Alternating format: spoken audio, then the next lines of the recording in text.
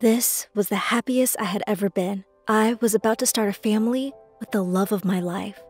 But the only problem was that we didn't have a lot of money. I was forced to go back to work. One day, my husband asked me to give him some money for this big game. He said that if we won, we would never have to work again, but we had to borrow the money from my work. My husband promised that no one would find out, so I did what he asked and took the money that night. For a moment, it seemed like everything would work out until we lost the game and my boss found out. We had lost all the money I borrowed, and I was fired from my job immediately. I didn't know what to do. All of our belongings were taken away our furniture, our car, and the house we bought to raise a family in had to be sold. Our whole life was gone, just like that. Nothing was left except for my husband and the baby growing in my belly. We were homeless. My husband and I decided that I would go stay with my parents while he worked out what to do. It was for the best because I didn't want the stress to affect our baby. When I arrived at my parents' house, I tried to put on a brave face, but inside, I would worry about our future. I only had a little bit of money left, and I didn't know when I would see my husband again. I would often cry myself to sleep, questioning how did it come to this? We were going to have a wonderful life together, but now we had nothing. It was all my fault. A month had passed, and I still hadn't heard anything from my husband. The last thing he told me to do was to lay low and try not to go out too much in case anyone came looking for us. I didn't know what to do, but I trusted that he would come and get us. So during that time, I kept my word and rarely spoke to any of my friends. But because I didn't have much contact with the outside world, I had no idea that my husband was cheating on me the entire time. When I first found out, it broke my heart. It felt like my dreams were taken away from me. I gathered myself and called my husband, asking him to choose. He told me that he didn't want anything to do with me and chose her. He had even lied about having no money when in fact, he was secretly taking money from me and used it to buy a house.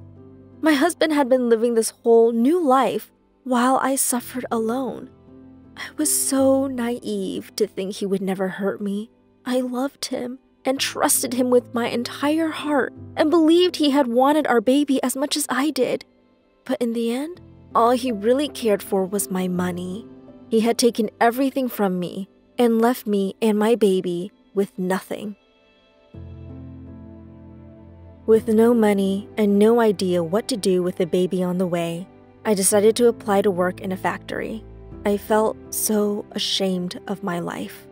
I went from working as the main clerk of the company, making thousands per month, to now working as a factory girl and only making 165 baht per day.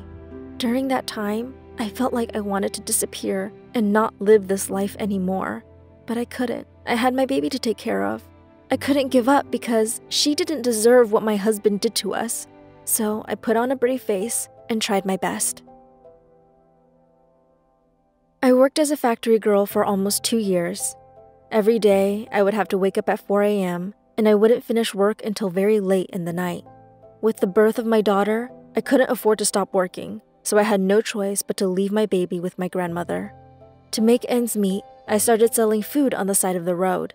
At first, it was really hard, but after a while, life got easier and I started to enjoy working a lot.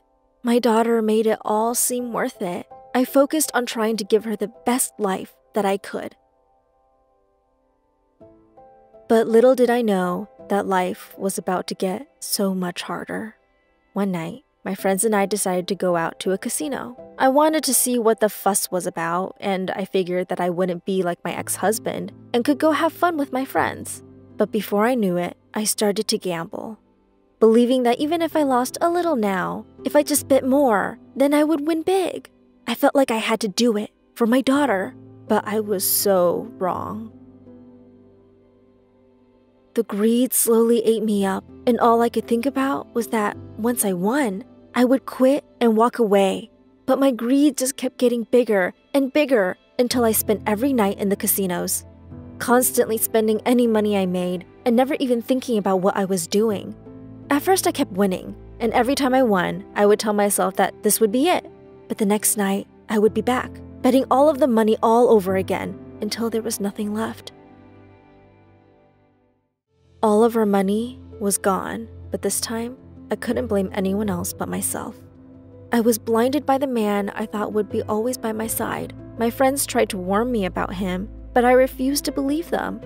And now, this greed had taken over my life hidden behind my need to provide for my daughter.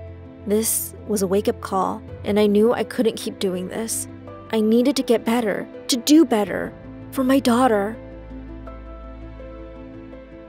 It has been a few years now, and I have been able to watch my daughter grow into a wonderful person.